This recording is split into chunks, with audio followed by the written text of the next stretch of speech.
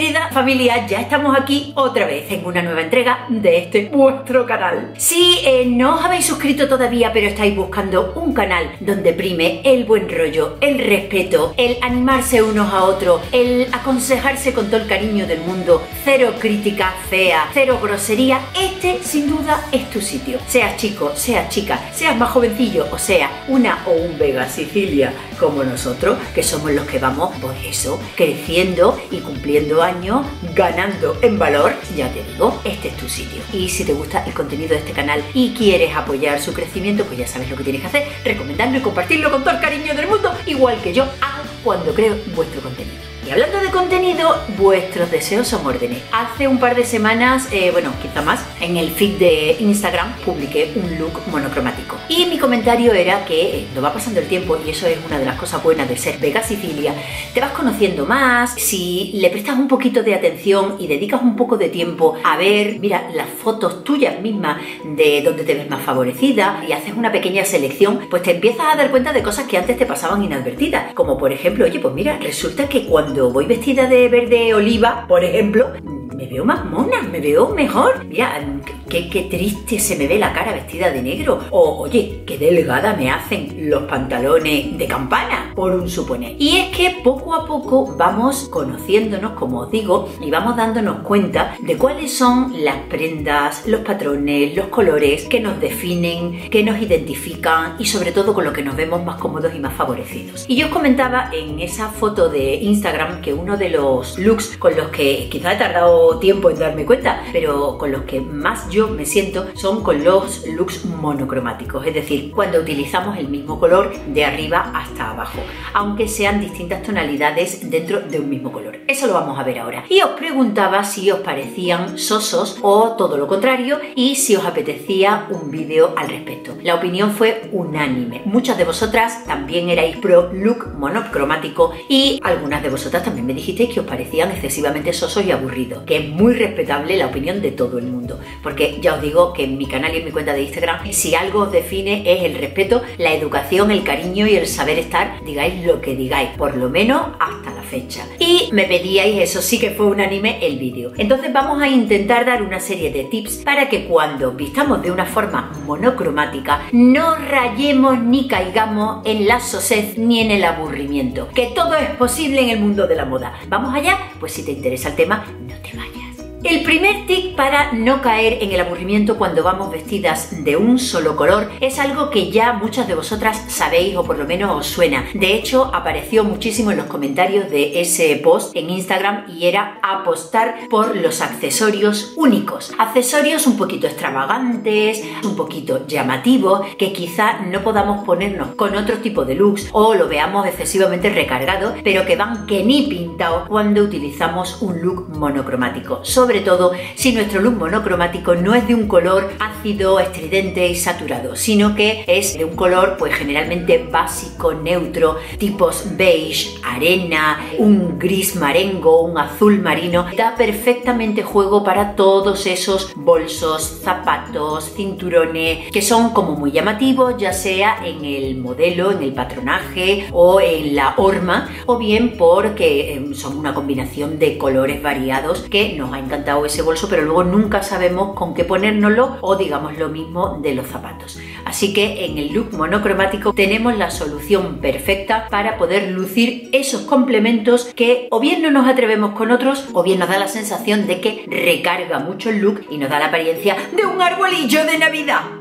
El segundo tip es añadir un color acento. Y diréis, ¿qué es un color acento? Pues bueno, un color acento es un color que no predomina bien en una decoración, bien en un look. Vamos a olvidarnos de la decoración porque no estamos hablando de interiorismo, estamos hablando de estilismo en el vestir. Entonces el color acento es un color que precisamente actúa como eso, como golpe de atención, atrae la vista, pero no llama la atención lo suficiente como para poder decir voy vestida de este color, ¿vale? Porque está dosificado en pequeños toques muy inteligentes. El tip del toque de color eh, va muy muy bien a muchas de vosotras que me habéis comentado que sois adictas al negro. Esto especialmente salió cuando hice el vídeo de ideas para vestir de blanco, pues muchas de vosotras me dijisteis que os había encantado el look, que tomabais nota de todos los patrones, las prendas de las que había hablado, pero que la ibais a pasar justo al lado contrario, es decir, ibais a buscar el equivalente en negro, porque erais adictas al negro. Pues bien, si sois de las que siempre vais vestidas,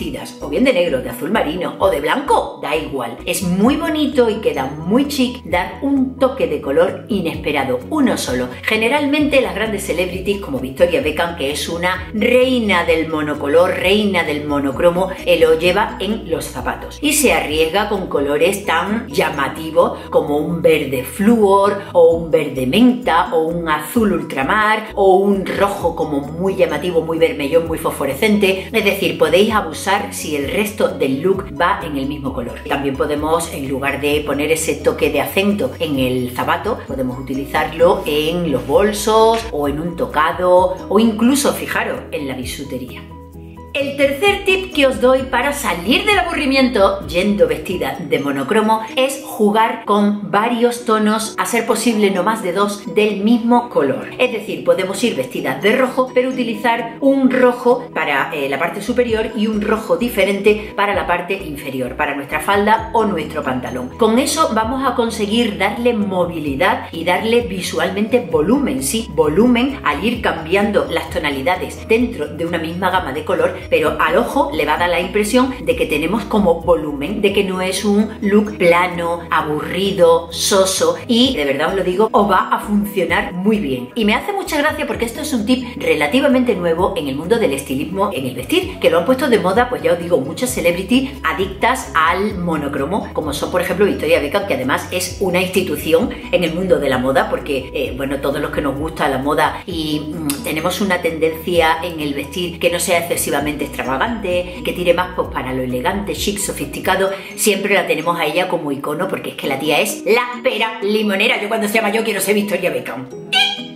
Pues esto lo utiliza ella muchísimo. Y es curioso porque siempre antes, no hace demasiado, siempre que intentábamos vestir de monocromo, nuestra obsesión, casi nunca cumplida, era conseguir casar los colores que fueran iguales. Y si nos poníamos un jersey o una blusa y nos poníamos un pantalón en azul marino, decíamos, ¡ay, es que no es el mismo azul marino, ¿vale? Y eso nos hacía rechazar el look. Pues precisamente ahora eso juega a favor. Ya os digo que le da movilidad, le da frescura y sobre todo le da volumen a un look que de otra forma parecería un poco plano.